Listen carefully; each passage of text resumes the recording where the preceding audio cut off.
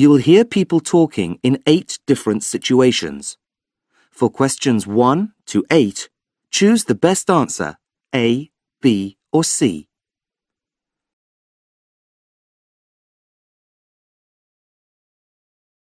One. You hear a woman talking about the final episode of a TV series. What does she say about it? A. It wasn't as good as previous episodes. B. It failed to attract a large number of viewers. C. It delivered an unexpected end to the story.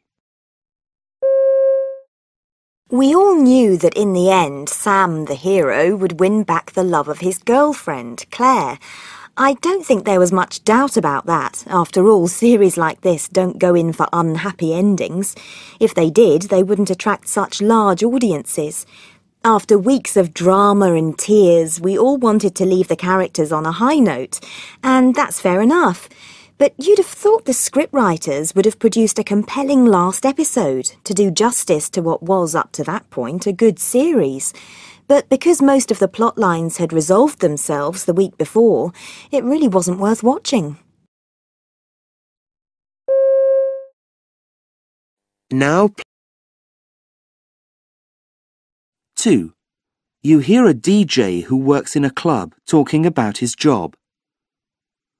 What makes him unhappy? A. Being asked to play old-fashioned types of music. B being asked to play the same track more than once. C. Being asked to play the bands which he dislikes most. People normally request the big names from the DJ, but I've got a huge collection, so there isn't much I can't offer. Sometimes somebody comes up to me and requests a song that makes me say, Yeah, that's an awesome track. I'll put that on right now. Sometimes it's something I don't particularly like, but it doesn't bother me because it's all part of the job. And I don't even mind playing old stuff because that adds variety. But what I can't stand is when someone requests a track and you have to tell them you've just played it. That does get to me, even if it's a band I really like.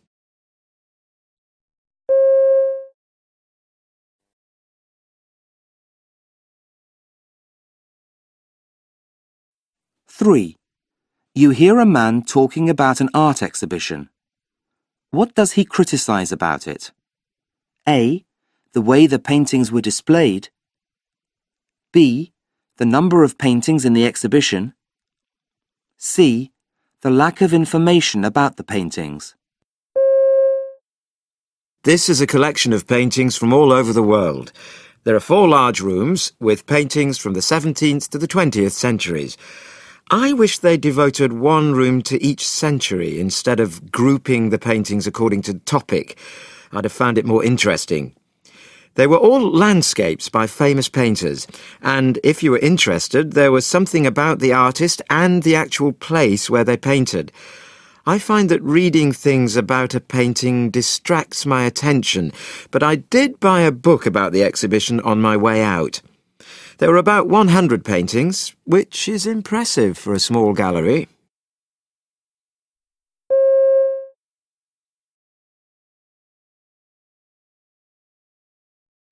Four. You hear a radio announcement about a job vacancy. What skill must you have if you want the job? A. An ability to deal with complaints. B.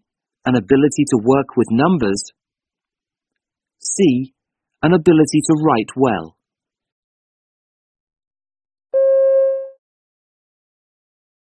We've got a vacancy in our sales department and we'd like a young person, ideally somebody just out of college.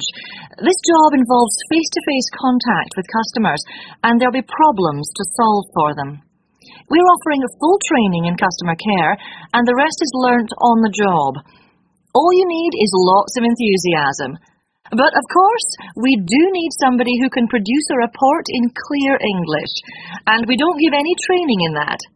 And just in case you're thinking perhaps you need to be good at maths, we have an accounts department that takes care of all that, so it's not an issue.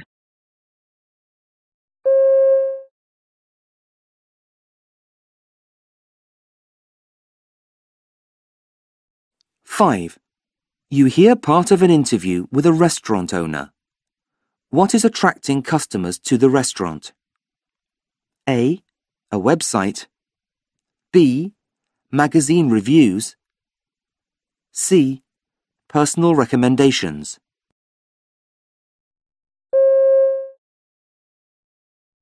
I opened the restaurant two weeks ago, and most days it's quite full. I was interviewed the other day for an article in Good Eating magazine, and that'll probably attract even more people. Well, it may be that your very good website is making people want to come and give you a try. I don't know if you designed it, but it's very attractive indeed. Actually, it was professionally done, though I'm sure you're right. My wife wasn't very keen on spending the money on it. She reckons satisfied customers tell their friends, and that's enough. Mm, she may have a point, of course. You'll have to wait and see.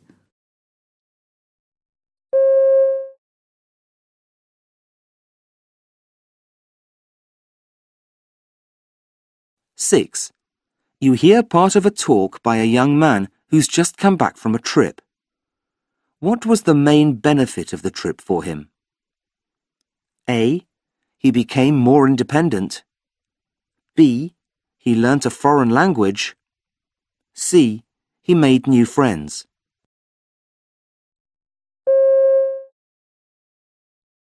This was partly a holiday and partly a study trip to see the places we'd studied in our geography lessons. I went with three friends from school, which was great because we organised the whole trip together and got on so well. I'd always travelled with my family, and this experience has been so important in making me realise I can actually do things on my own. I speak good Spanish, so I was doing all the talking because neither of my friends know a word of it.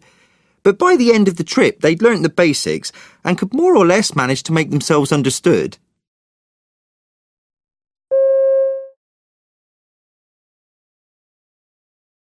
Seven. On the radio, you hear a sports journalist talking about an article she has written. What is the article about? A. The history of sport. B. The benefits of sport. C. The lack of sports facilities.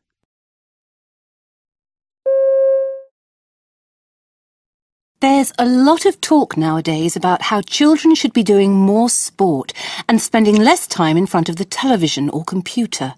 Nobody doubts the fact that sport is good for your health, so I didn't feel it was necessary to deal with this in my article. My intention was to raise awareness of a key problem we need to address. We can't just say, go out and play a sport, without first investing more on sports venues we need to look at how other countries deal with this problem and also at what we can learn from the past.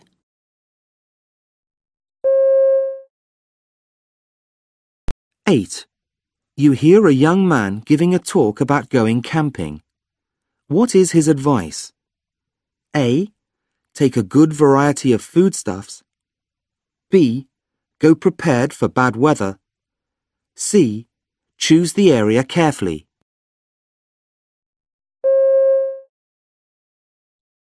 Camping is the best kind of holiday for me.